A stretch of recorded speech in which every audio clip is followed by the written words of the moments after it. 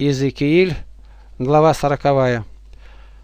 В двадцать пятом году по переселении вашем, в начале года, в десятый день месяца, в четырнадцатом году по разрушении города, в тот самый день была на мне рука Господа, и Он повел меня туда. В видениях Божьих привел Он меня в землю Израилеву и поставил меня на весьма высокой горе, и на ней с южной стороны – были как бы городские здания, и привел меня туда. И вот муж, которого вид как бы вид блистающей меди, и льняная верь в руке его, и трость измерения, и стоял он у ворот. И сказал мне этот муж, сын человеческий, смотри глазами твоими и слушай ушами твоими, и прилагай сердце твое ко всему, что я буду показывать тебе ибо ты для того и приведен сюда, чтобы я показал тебе это. Все, что увидишь, возвести дому Израилеву. И вот вне храма стена со всех сторон его, и в руке того мужа трость измерения в шесть локтей, считая каждый локоть в локоть с ладонью. И намерил он в этом здании одну трость толщины и одну трость вышины. Потом пошел к воротам, обращенным лицом к востоку, и взошел по ступеням их, и нашел меры в одном пороге ворот одну треть ширины и в другом пороге одну трость ширины. И в каждой боковой комнате одна трость длины и одна трость ширины, а между комнатами пять локтей. И в пороге ворот у притвора ворот внутри одна же трость. И смерил он в притворе ворот внутри одну трость и в притворе у ворот намерил восемь локтей и два локтя в столбах. Этот притвор у ворот со стороны храма. Боковых ворот, у восточных ворот, три с одной стороны и три с другой, а одна мера во всех трех, и одна мера в столбах с той и другой стороны.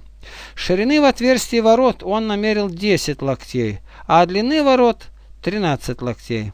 А перед комнатами выступ в один локоть и в один же локоть с другой стороны выступ. Эти комнаты с одной стороны имели шесть локтей и шесть же локтей с другой стороны. Потом намерил он в воротах от крыши одной комнаты до крыши другой 25 локтей ширины. Дверь была против двери. А в столбах он насчитал 60 локтей, и в каждом столбе около двора и у ворот и от передней стороны входа в ворота до передней стороны внутренних ворот 50 локтей. Решетчатые окна были и в боковых комнатах, и в столбах их, внутри ворот кругом также, и в притворах окна были кругом на внутреннюю сторону, и на столбах пальмы. И привел он меня на внешний двор, и вот там комнаты и каменный помост кругом двора был сделан 30 комнат на том помосте. И помост этот был по бокам ворот, соответственно длине ворот. Этот помост был ниже. И намерил он в ширину от нижних ворот до внешнего края внутреннего двора 100 локтей к востоку и к северу. Он намерил также длину и ширину ворот внешнего двора, обращенных лицом к северу, и боковые комнаты при них – три с одной стороны и три с другой. И столбы их, и выступы их были такой же меры, как у прежних ворот. Длина их 50 локтей, а ширина 25 локтей. И окна их, и выступы их, и пальмы их той же меры, как у ворот, обращенных лицом к востоку. И входят к ним семью ступенями, и перед ними выступы. И во внутренний двор есть ворота против ворот северных, и восточных, и намерил он от ворот до ворот сто локтей. И повел меня на юг, и вот там ворота южные, и намерил он в столбах и выступах такую же меру, и окна в них, и в преддвериях их такие же, как те окна длины 50 локтей и ширины 25 локтей. Подъем к ним всем ступеней, и преддверие перед ними, и пальмовые украшения, одно с той стороны, а другое с другой, на столбах их и во внутренний двор были южные ворота. И намерил он от ворот до ворот южных сто локтей.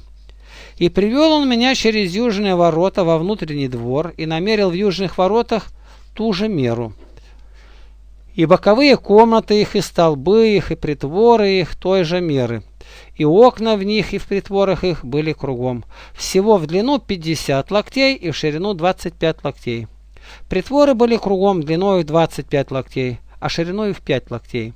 И притворы были у них на внешний двор, и пальмы были на столбах их, подъем к ним в 8 ступеней. И повел меня восточными воротами на внутренний двор, и намерил в этих воротах ту же меру. И боковые комнаты их, и столбы их, и притворы их были той же меры, и окна в них, и притворах их были кругом. Длина 50 локтей, а ширина 25 локтей. Притворы у них были на внешний двор, и пальма на столбах их стоит с другой стороны, подъем к ним 8 ступеней. Потом привел меня к северным воротам, намерил в них ту же меру. Боковые комнаты при них, столбы их, и притворы их, и окна в них были кругом. Всего в длину 50 локтей и в ширину 25 локтей. Притворы у них были на внешний двор. И пальмы на столбах их и стоя с другой стороны, подъем к ним 8 ступеней.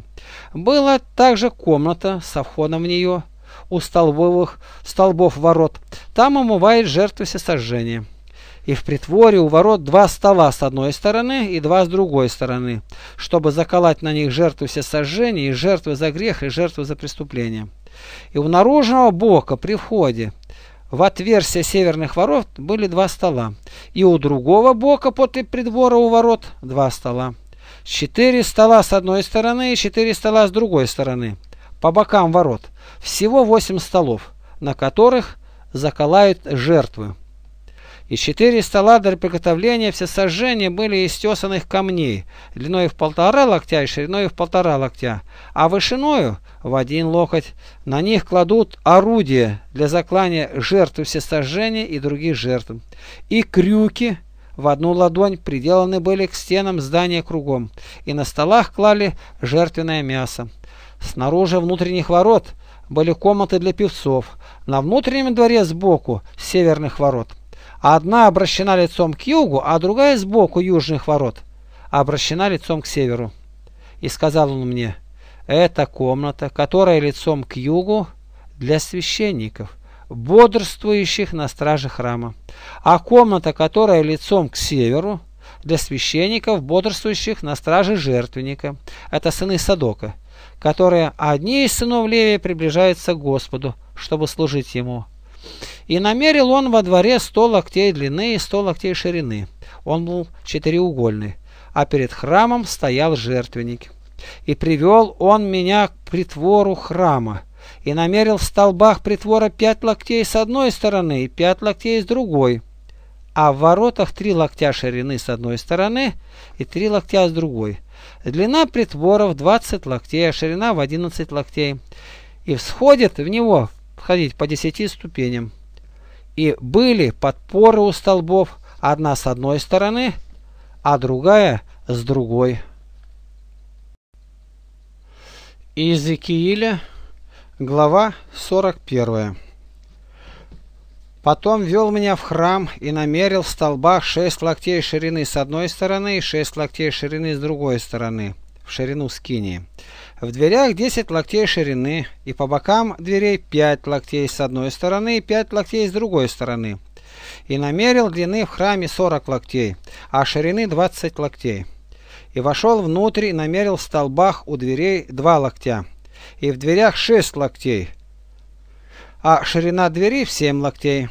И отмерил в нем 20 локтей в длину и 20 локтей в ширину храма, и сказал мне, это святое святых и намерил в стене храма шесть локтей, а ширины в боковых комнатах кругом храма по четыре локтя. Боковых комнат было 33, комната подле комнаты. Они вдаются в стену, которая у храма, для комнат кругом, так что они в связи с нею, но стены самого храма не касаются.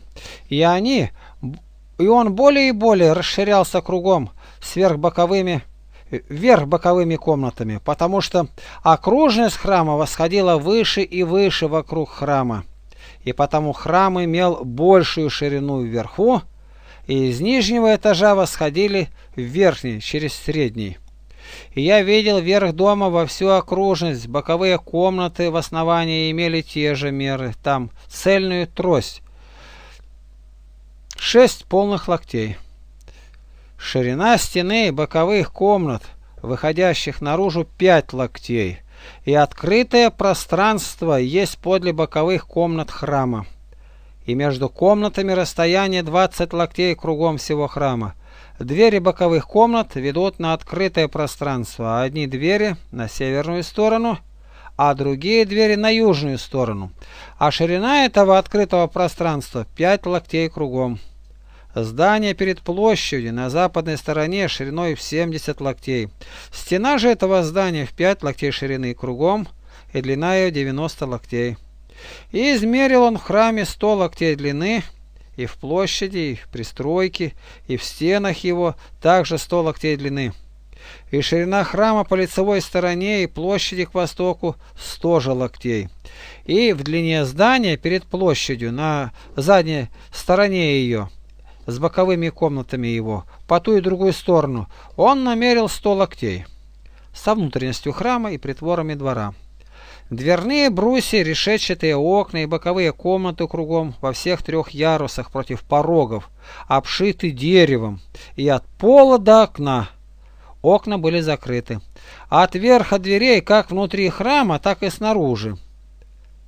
И по всей стене кругом внутри и снаружи были резные изображения. Сделаны были херувимы и пальмы, пальма между двумя херувимами. И у каждого херувима два лица. С одной стороны к пальме обращено лицо человеческое, а с другой стороны к пальме лицо львиное. Так сделано во всем храме кругом. От пола до верха дверей сделаны были херувимы и пальмы, также и по стене храма. В храме были четырехугольные дверные косяки, и святилище имело такой же вид, как я видел. Жертвенник был деревянный, в три локтя вышиною и в два локтя длины. И углы его, и подножие его, и стенки его из дерева. И сказал он мне, это трапеза, которая перед Господом. В храме во святилище по две двери. И двери сия двух досках, обе доски подвижные, две у одной двери и две доски у другой. И сделан на них на дверях храма херувимы и пальмы, такие же, какие сделаны по стенам. А перед притвором снаружи был деревянный помост и решетчатые окна с пальмами по ту и по другую сторону были по бокам притвора и в боковых комнатах храма и на деревянной обшивке. Иезекииль, глава 42 и вывел меня ко внешнему двору северной дорогой и привел меня к комнатам, которые против площади и против здания на севере, к тому месту, которое у северных дверей имеет в длину 100 локтей, а в ширину 50 локтей, напротив 20 локтей внутреннего двора и напротив помоста, который на внешнем дворе. Была галерея против галереи в три яруса, а перед комнатой ход в 10 локтей ширины, а внутрь в один локоть. Двери их лицом к лицу. Верхние комнаты уже, потому что галерея отнимает у них несколько против нижних и средних комнат этого здания. Они в три яруса, и таких столбов, какие на дворах, нет у них, потому они и сделаны уже против нижних и средних комнат, начиная от пола. А наружная стена напротив этих комнат от внешнего двора, составляющая лицевую сторону комнат, имеет длины 50 локтей, потому что и комнаты на внешнем дворе занимают длины только 50 локтей, и вот перед храмом 100 локтей. А снизу ход к этим комнатам с восточной стороны, когда подходят к ним со внешнего двора. В ширину стены двора к востоку перед площадью и перед зданием были комнаты, и ход перед ними такой же, как и у тех комнат, которые обращены к северу. Такая же длина, как у тех, такая же ширина и все выходы их. И устройство их, и двери их такие же, как и у тех. Такие же двери, как и у комнат, которые на юг, и для входа в них дверь у самой дороги, которая шла прямо вдоль стены на восток. И сказал он мне, комнаты на север и комнаты на юг, которые перед площадью, суть комнаты священные в которых священники, приближающиеся к Господу, съедают священнейшие жертвы. Там же они кладут священнейшие жертвы и хлебное приношение, и жертву за грех, и жертву за преступление, ибо это место святое. Когда войдут туда священники, то они не должны выходить из этого святого места на внешний двор, доколе не оставят там одежд своих, которых служили, ибо они священны. А они должны надеть на себя другие одежды и тогда выходить к народу.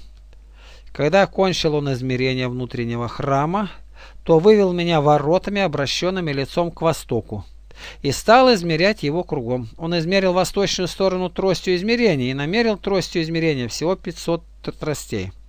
С северной стороне той же тростью и измерения намерил он всего 500 тростей. В южной стороне намерил тростью измерения также 500 тростей. Поворотив к западной стороне, намерил тростью измерения 500 тростей. Со всех четырех сторон он измерил его. Кругом него была стена длиной в 500 тростей и в 500 тростей шириною, чтобы отделить святое место от несвятого. Иезекииль, глава 43.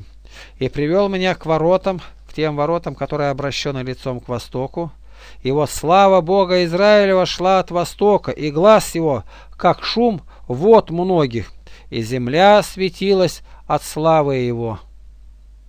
Это видение было так, такое же, какое я видел прежде, точно такое, какое я видел, когда приходил возвестить гибель городу и видение, подобное видениям, какие видел я у реки Хавара. И я пал на лицо мое.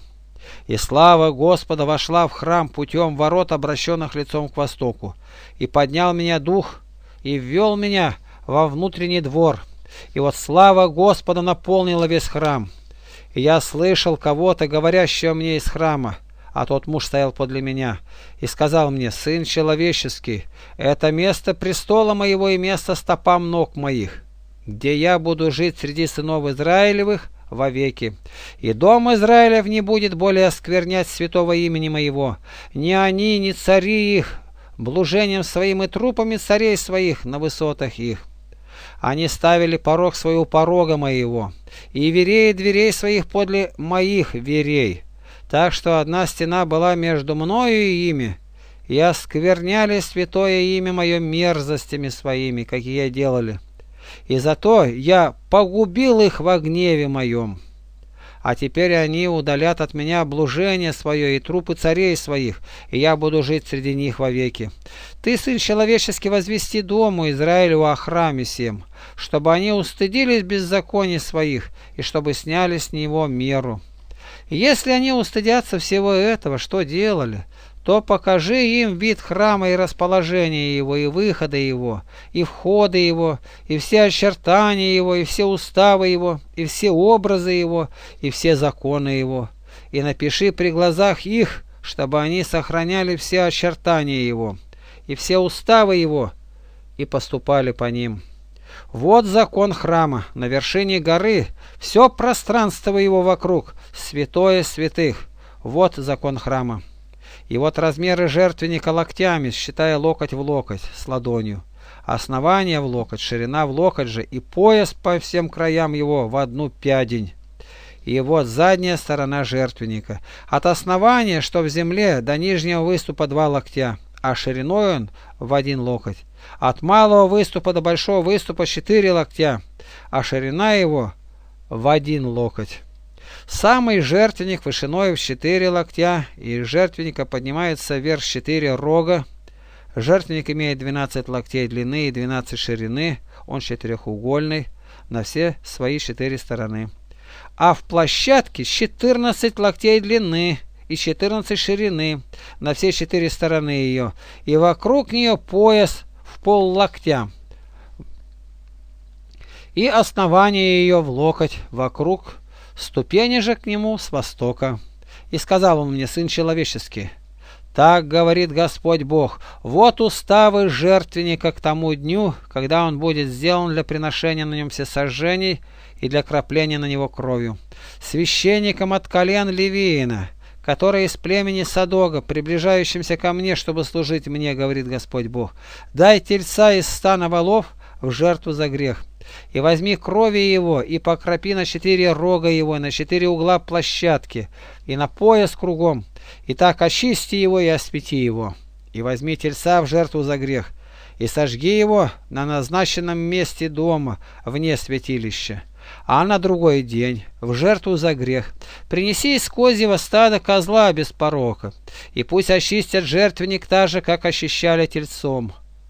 Когда же кончишь очищение, приведи из стада волов тельца без порока и стада овец овна без порока, и принеси их перед лице Господа, и священник и бросят на них соли, и вознесут их во всесожжение Господу.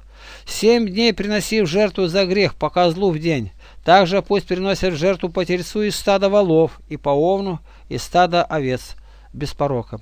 Семь дней они должны очищать жертвенник и освещать его, и наполнять руки свои.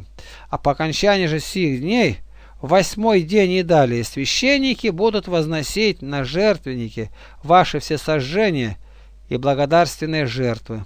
И я буду милостив к вам, говорит Господь Бог. Иезекииль, глава 44. «И привел он меня обратно ко внешним воротам святилища, обращенным лицом на восток, и они были затворены.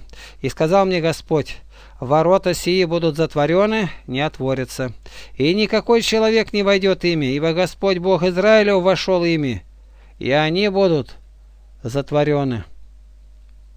Что до князя, он как князь сядет в них, чтобы есть хлеб перед Господом, войдет путем притвора этих ворот» и тем же путем выйдет. Потом привел меня путем ворот северных перед лице храма, и я видел, и вот слава Господа наполняла дом Господа, и пал я на лицо мое. И сказал мне Господь, Сын Человеческий, прилагай сердце твое ко всему, и смотри глазами твоими, и слушай ушами твоими все, что я говорю тебе, о всех постановлениях дома Господа и всех законах его, и прилагай сердце твое ко входу в храм и ко всем выходам из святилища. И скажи мятежному дому Израилеву, так говорит Господь Бог, довольно вам, дом Израилев, делать все мерзости ваши, вводить сынов чужой, необрезанных сердцем и необрезанных плотью, чтобы они были в моем святилище и оскверняли храм мой, подносить хлеб мой, тук и кровь, и разрушать завет мой всякими мерзостями вашими. Вы не исполняли стражи у святынь моих, оставили вместо себя их для стражи в моем святилище. Так говорит Господь Бог, никакой сын чужой, не обрезанный сердцем и не обрезанный плотью, не должен входить во святилище мое, даже и тот сын чужой, который живет среди сынов Израиля. Равные левиты, которые удалились от меня во время отступничества Израилева, которые, оставив меня, блуждали вслед идолов своих, понесут наказание за вину свою. А они будут служить во святилище моем, как сторожа у ворот храма и прислужники у храма. Они будут заколать для народа все сожжения и другие жертвы, и будут стоять перед ними для служения им. За то, что они служили им перед идолами их, и были для дома Израилева соблазном к несчастью. Я поднял на них руку мою, говорит Господь Бог, и они понесут наказание за вину свою. А они не будут приближаться ко мне, чтобы священно действовать предо мною и приступать ко всем святыням моим, к святому святых, но будут нести на себе бесславие свои, мерзости свои, какие делали. Сделай их стражами храма для всех служб его и для всего, что производится в нем. А священники из колена Левиина, сыны Садока, которые во время отступления сынов Израилевых от меня постоянно стояли на страже святилища моего. Те будут приближаться ко мне, чтобы служить мне, и будут предстоять пред лицом моим, чтобы приносить мне тук и кровь, говорит Господь Бог. Они будут входить во святилище мое и приближаться к трапезе моей, чтобы служить мне и соблюдать стражу мою. Когда придут к воротам внутреннего двора, тогда оденутся в одежды льняные, а шерстяное не должно быть на них во время служения их в воротах внутреннего двора и внутри храма. У на головах и должны быть также льняные, и исподняя одежда на чрестах их должна быть также льняная. В поту они не должны опоясываться. А когда надобно будет выйти на внешний двор, на внешний двор к народу, тогда они должны будут снять одежды свои, в которых они служили, и оставить их в священных комнатах, и одеться в другую, другие одежды, чтобы священными одеждами своими не прикасаться к народу. И головы своей они не должны брить, и не должны отпускать волос, а пусть непременно стригут головы свои. И вина не должен пить ни один священник, когда идет во внутренний двор. Ни вдовы, ни разведенные с мужем они не должны брать себе в жены, а только могут брать себе девицы с племени дома Израилева и вдову, оставшуюся вдовой от священника. Они должны учить народ мой отличать священное от несвященного и объяснять им, что нечисто и что чисто. При спорных делах они должны присутствовать в суде и по уставам моим судить их, и наблюдать законы мои, постановления мои, о всех праздниках моих, и свято хранить субботы мои. К мертвому человеку никто из них не должен подходить, чтобы не сделаться нечистым. Только ради отца и матери, ради сына и дочери, брата и сестры, которая не была замужем, можно им сделать себя нечистыми. По ощущению же такого, еще семь дней надлежит отсчитать ему. И в тот день, когда ему надобно будет приступать к святыне во внутреннем дворе, чтобы служить при святыне, он должен принести жертву за грех, говорит Господь Бог. А что до удела их, то я их удел. И владение не давайте им в Израиле, я их владение. Они будут есть от хлебного приношения, от жертвы за грех и жертвы за преступление. И все заклятое у Израиля им же принадлежит и начатки из всех плодов ваших, и всякого рода приношения, из чего не состояло бы приношение ваше, принадлежит священникам, и начатки молотого вами отдавайте священнику, чтобы над домом твоим почивало благословение. Никакой мертвечины и ничего растерзанного зверем, ни из птиц, ни из скота не должны есть священники. Иезекииль, глава 45.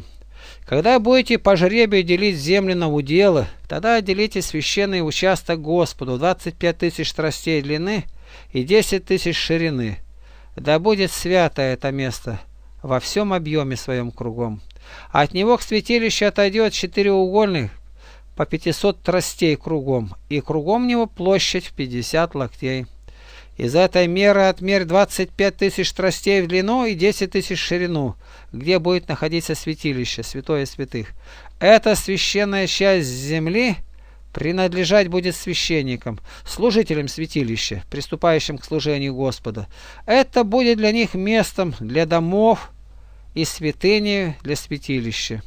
25 тысяч тростей длины и 10 тысяч ширины – будут принадлежать левитам, служителям храма, как их владение для обитания их. И во владение городу дайте пять тысяч ширины и двадцать пять тысяч длины против священного места, отделенного Господу. Это принадлежать должно всему дому Израилеву. И князю дайте долю по ту и другую сторону, как подле священное место, отделенного Господу, так и подле городского владения к западу с западной стороны и к востоку с восточной стороны, длиной наравне с одним из оных уделов от западного предела до восточного.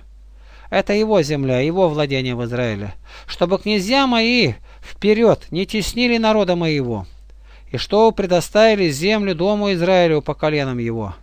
Так говорит Господь Бог, довольно вам, князья Израилевы, отложите обиды и угнетения, и творите суд и правду. Перестаньте вытеснять народ мой из владения его, говорит Господь Бог. Да будут у вас правильные весы, и правильная ефа, и правильный бат. Ефа и бат должны быть одинаковой меры, так что бат вмещал в себе десятую часть хамера, и ефа десятую часть хамера. Мера же должна определяться по хамеру.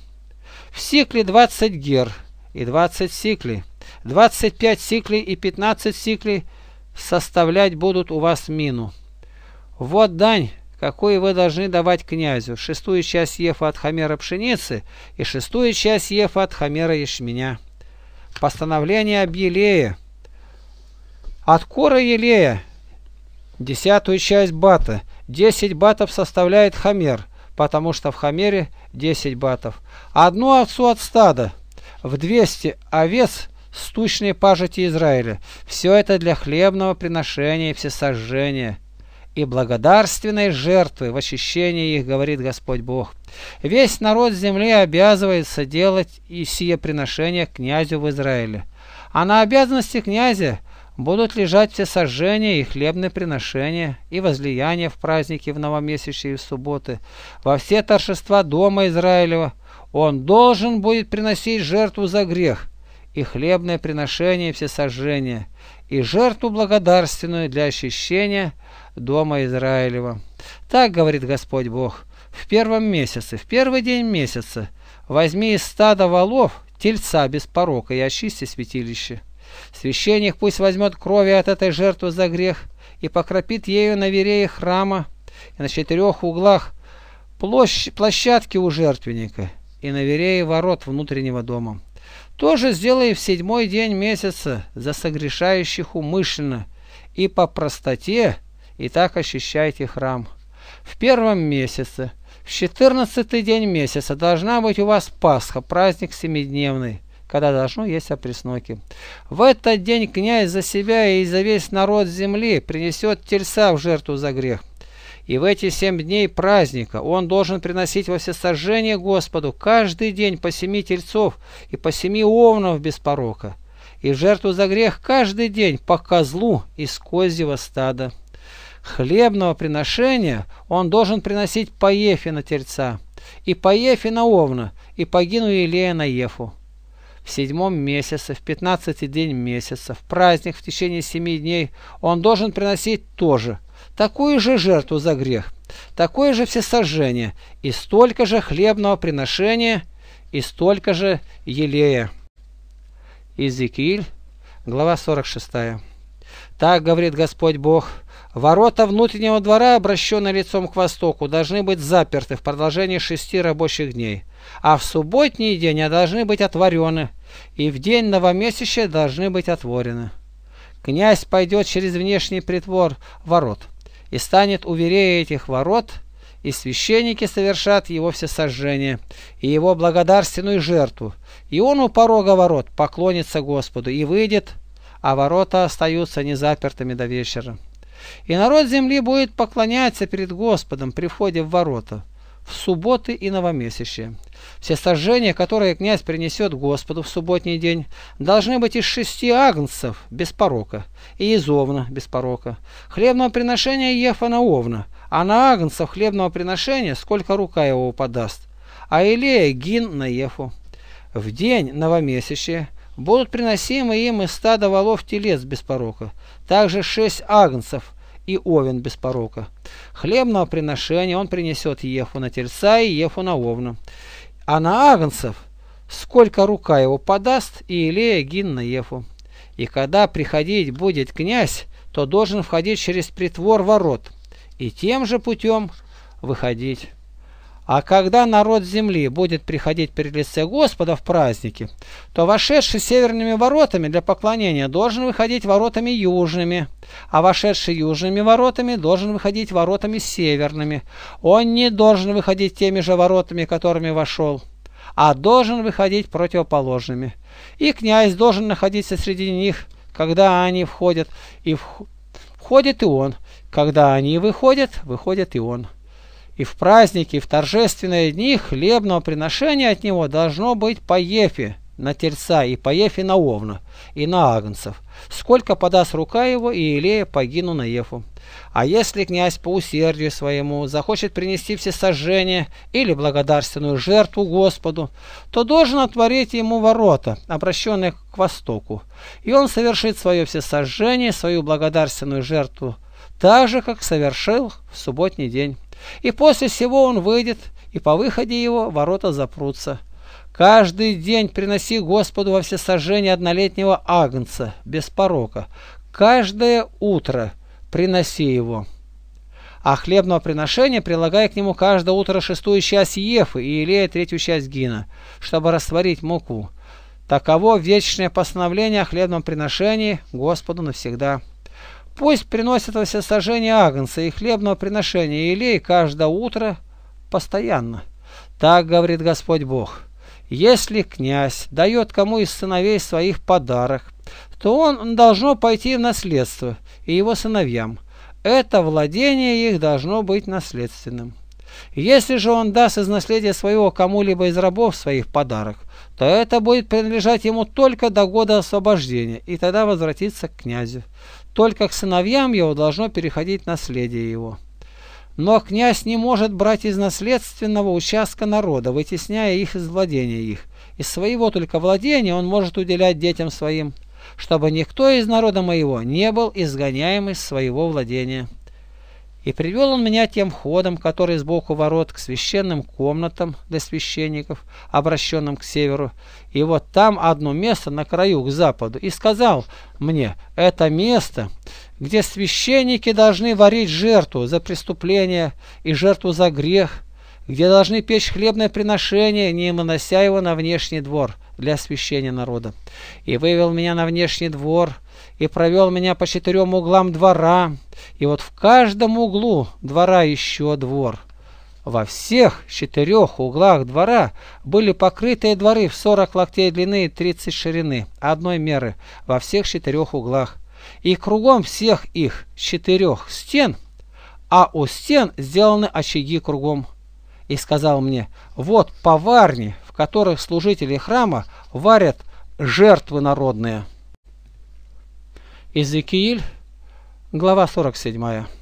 Потом привел он меня обратно к дверям храма, и вот из-под ворот храма течет вода на восток, ибо храм стоял лицом на восток, и вода текла из-под правого бока храма по южную сторону жертвенника.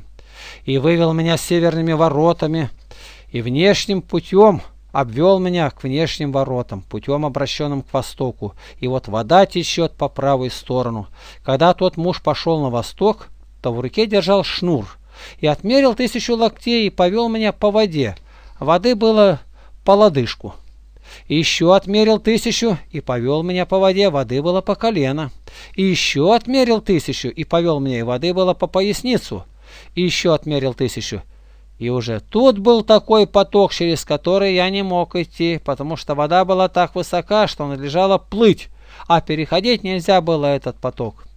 И сказал мне, видел сын человеческий, и повел меня обратно к берегу этого потока. И когда я пришел назад, и вот на берегах потока много было деревьев по ту и по другую сторону, и сказал мне, эта вода течет в восточную сторону земли, сойдет на равнину и войдет в море, и воды его сделаются здоровыми. И всякое живущее существо, присмыкающееся там, где войдут две струи, будет живо. И рыбы будет весьма много, потому что войдет туда эта вода, и воды в море сделаются здоровыми. И куда войдет этот поток, все будет живо там и будут стоять подле него рыболовы от Енгади до Иглаима. Будут закидывать сети, рыба будет в своем виде, и как в большом море рыбы будет весьма много. Болото его и лужи его, которые не сделаются здоровыми, будут оставлены для соли. У потока по берегам его с той и с другой стороны будут расти всякие дерева, доставляющие пищу. Листья их не будут увидать и плоды на них не будут истощаться. Каждый месяц будут созревать новые, потому что вода для них течет из святилища, плоды их будут употребляемы в пищу, а листья – на врачевание. Так говорит Господь Бог, вот распределение, по которому вы должны разделить землю в наследие двенадцати коленам Израилевым. Иосифу два удела. И наследуйте ее как один, так и другой так как я, подняв руку мою, клялся отдать ее отцам вашим, то и будет земля сия наследием вашим. И вот предел земли. На северном конце, начиная от Великого моря через Хитлон, по дороге в Цидат, Емав, Берот, Севраим, находящийся между Дамасской и Имавской областями, где царь Тихон, который на границе Аврана. И будет граница от моря до Гацар-Енон, граница с Дамаском, и далеко на север, северного края до Восточного моря.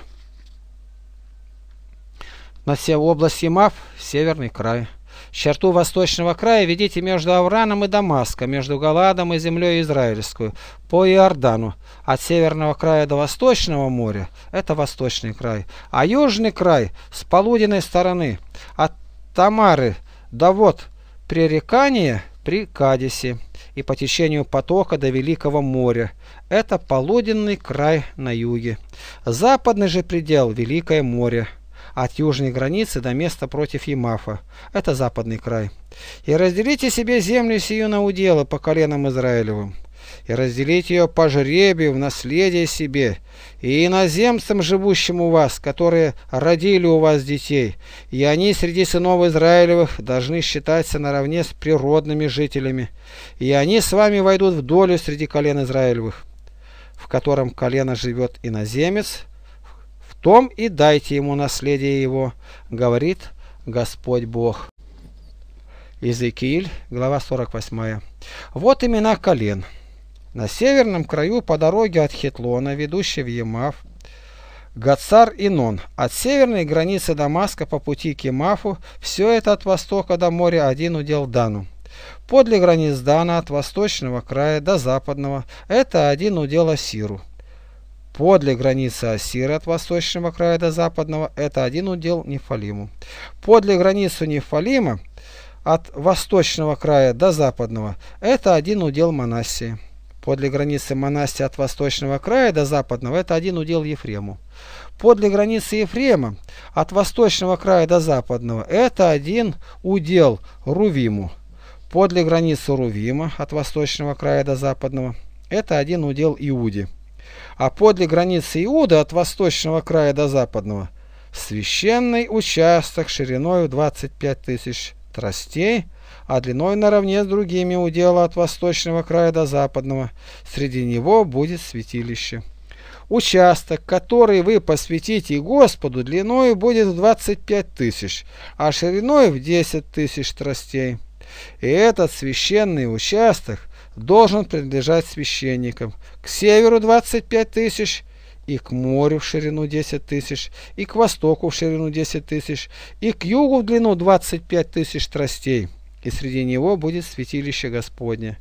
Это посвятите священникам и сынов Садока, которые стояли на страже моей, которые во время отступничества сынов Израилевых не отступили от меня, как отступили другие левиты. Им будет принадлежать эта часть земли из священного участка, святыня из святынь у предела левитов. И левиты получат также у священнического предела 25 тысяч в длину и 10 тысяч тростей в ширину. Вся длина 25 тысяч, а ширина 10 тысяч тростей. И из этой части они не могут ни продать, ни променять, и начатки земли не могут переходить к другим, потому что это святыня Господня. А остальные 5 тысяч в ширину с 25 тысячами в длину назначаются для города в общее употребление, на заселение и на предместье. Город будет в середине. И вот размеры его. Северная сторона 4500 и южная сторона 4500, восточная сторона 4500 и западная сторона 4500 тростей. А предместье города к северу 250, и к востоку 250, и к югу 250, и к западу 250 тростей. А что остается из длины против священного участка, 10 тысяч к востоку и 10 тысяч к западу, против священного участка, произведения с этой земли должны быть для продовольствия работающих в городе. Работать же в городе могут работники из всех колен Израилевых. Весь отделенный участок в 12 в 25 тысяч длины и в 25 тысяч ширины четырехугольный выделите в священный удел со включением владений города, а остальное князю, как со стороны священного участка, так и со стороны владений города, против 25 тысяч тростей до восточной границы участка и на запад против 25 тысяч у западной границы, соразмерно с семи уделами. Удел князю – так что священный участок и святилище будет в середине его. И то, что от владений левитских и от владений города остается в промежутке, принадлежит также князю. Промежуток между границей Иуды и между границей Вениамина будет принадлежать князю. Остальное же от колен от восточного края до западного один удел Вениамину.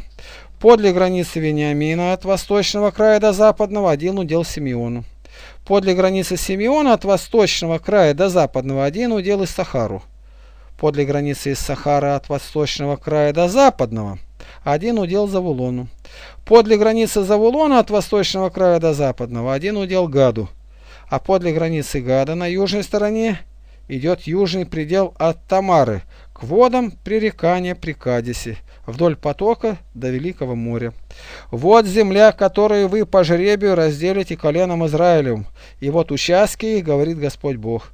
И вот выходы города с северной стороны меры 4500. И ворота города называются именами колен Израилевых. К северу трое ворот, ворота Рувимова. Одни, ворота Иудины одни, ворота Левиина одни и с восточной стороны меры 4500, и трое ворот, ворота Иосифова одни, ворота Вениаминова одни и ворота Данова одни. И с южной стороны меры 4500, и трое ворот, ворота Симеонова одни, ворота Иссахарова одни и ворота Завулонова одни. С морской стороны меры 4500, ворот здесь трое же, Ворота Гадова одни, ворота Асирова одни и ворота Нефалимова одни. Всего кругом 18 тысяч, а имя городу с того дня будет Господь там.